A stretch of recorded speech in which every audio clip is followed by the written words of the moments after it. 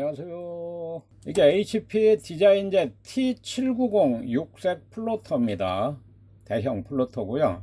이 플로터가 자 오늘 이 동영상을 만든 이유는요. 요거는 이제 리필 카트리지를 제가 따로 끼운 거예요. 원래 정품 카트리지는 요거에 한 3분의 1? 4분 여기 뚜껑이 덮여야 되니까 조그만해요. 한 200ml 300ml 그건 뭐 이러고 이 플로, 어, 플로터는 대형 사진을 인쇄를 하기 때문에 잉크가 막 어마어마하게 들어간다고요. 그 사진 몇 장 인쇄하면 없죠. 그래서 리필 저는 카트리지를 쓰고 있고요. 그 다음에 정품 카트리지는 이게 기한이 있다고요. 일정한 기한이 되면은 이게 이제 그 기한 만료해서 인쇄가 안 된다고요. 그러니까 오늘 내가 동영상을 만든 이유가 저같이 리필 잉크를 쓰실 분들은 리필 잉크를 써도 정품 잉크하고 어, 사진 인쇄 품질이 차이가 나느냐? 눈꽃만큼도 안 나요. 절대로 차이가 나지 않습니다. 리필 링크. 이건 아무나 만드는 게 아니잖아요. 다 그래도 다 참 똑똑한 사람들이 연구를 해서 만들어내는 잉크고 다 그래도 어느 정도 규모가 있는 기업체에서 만드는 잉크니까 이거 개인이 만드는 잉크가 아니잖아요. 그렇기 때문에 리필 링크라고 해서 뭐 화질이 떨어진다 이런 건 없는데 문제는 이제 이게 HP 정품 잉크를 쓰면은 회색이 나오는데 HP 정품 잉크를 안 쓰기 때문에 회색을 구할 수가 없어요. 어떠한 메이커의 리필 잉크를 사도 회색이 이렇게 검정색이라고 와요. 검정색으로 와요. 그러면 매트 블랙 포토 블랙 요 그레이까지 검정이 들어가니까 이 상태로 인쇄를 하면 사진이 완전 암흑 천지로 인쇄가 됩니다. 그러니까 이제 깜짝 놀라 가지고 그런 사람들은 이제 이거 무조건 HP 정품 잉크를 쓰죠. 이게 정품 잉크 아까 조금 전에 봤는데요. 이게 그레이가 요거 이거 재생 잉크가 77,000원이에요. 그러면 이게 정품 잉크라면 이게 10만 원이 훨씬 넘어간다고요. 근데 정확하게 가격은 얼마인지 모르겠어요. 10만 원, 20만 원 가까이 할지 어찌 뭐 하여튼 엄청 비싸요. HP는 전통적으로 이렇게 비쌉니다. 요걸 쓰면 돼요. 그런데 용량도 엄청 적지요.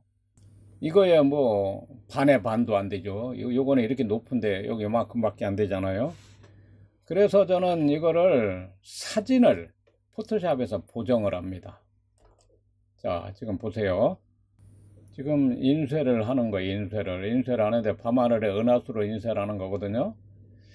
지금 인쇄가 지금 되고 있어요 인쇄가 되고 있는데 이게 그냥 인쇄를 하면은 여기 제 가장 어두운 부분으로 다 인쇄가 돼 버린다고요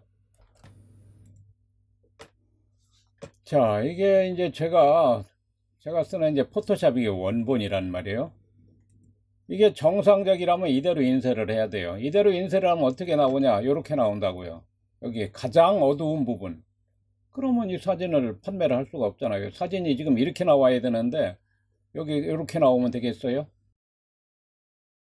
포토샵 메뉴 필터. 여기서 Camera Raw 필터가 있다고요. Camera Raw 필터를 클릭하면은 자 지금 이렇게 사진이 나왔잖아요. 이 사진이 고대로 그냥 인쇄라면 이렇게 인쇄가 돼요. 원본하고 어, 같아요? 절대로 안 같죠? 자 일단 봅시다.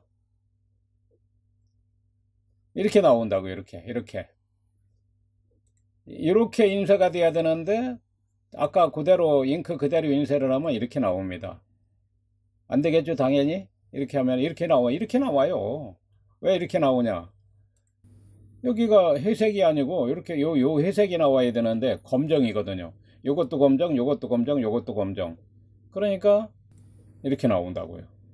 그러면 요거는 은하수니까 이렇게 나오니까 어떤 사람이 오면 아이고 깜깜하게 찍었네. 이럴 수도 있겠지만 다른 사진은 완전 엉망진창으로 나온다고요. 색깔이 안 맞으니까. 그래서 이런 경우에는 이게 이제 포토샵이니까 여기서 클릭하고 여기다 갖다 놓으면 이제 레이저가 layer가 하나 복제가 되잖아요. 이걸 똑같이 여기를 밝게 보정을 하는 거예요. 여기 Camera Raw 필터. 여기서 다른 건 만질 게 없어요. 여기서 어두운 영역 한번 올려주고 검정색도 올려주라고요. 일반적인 사진이면 이렇게 하면 충분해요. 그러나 이 사진은 이렇게 한 번 해서는 안 돼요. 이 정도로 밝아졌어도 저 거의 암흑으로 나옵니다 그래서 이런 사 그러니까 사진은 자기가 출력을 하면서 어느 정도인지 맞춰야죠. 밝은 사진은 조금만 해야 되고 어두운 사진은 여기서 이제 요거는 조금 전에 필터를 한번 썼기 때문에 이게 나온다고요. 그냥 한 번 더 하면 그 필터가 적용이 돼요. 자, 적용이 됐죠? 요것도 부족해요. 한 번 더 해줘요. 자, 이게 지금 인쇄한 겁니다. 지금 인쇄한 게 이렇게 인쇄한 겁니다. 요게, 요게, 요게 지금 동영상 여기서 보이는 게 그렇게 인쇄한 거라고요. 지금 어, 스마트폰 어, 카메라 플래시가 켜져 가지고 약간 빛이 반사돼서 그래요. 좀 완전히 정상적으로 나오는 거예요. 여기가 가운데 색깔도 제대로 나오고 아주 잘 나오는 겁니다. 그래서 오늘 이런 식으로 이런 식으로 하면 돼. 그러면은 그러면은 이거를 요- 여기 저같이 HP 정품 잉크를 쓰지 않더라도 리필 잉크 사다가 어떤 이 리필 잉크를 사도 검정이 오, 이게 회색이라고 사도 검정이 옵니다. 매트 블랙은 요- 여기까지는 이제 HP 호환 잉크를 써요. 저도 여기 HP 호환 잉크.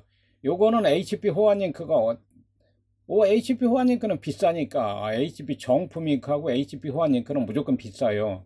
그래서 HP가 아닌 저는 그냥 일반 호환 잉크를 씁니다. 여기까지는 HP 호환 잉크를 쓰고 그러면 이제 그, 저 중요한 거는 gray가 아니고 검정이 온다고요.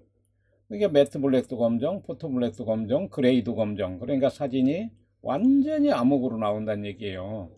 이게 원본이고 지금 이게 밝게 보정한 거고 이렇게 해서 인쇄를 하면은 아주 잘 나옵니다.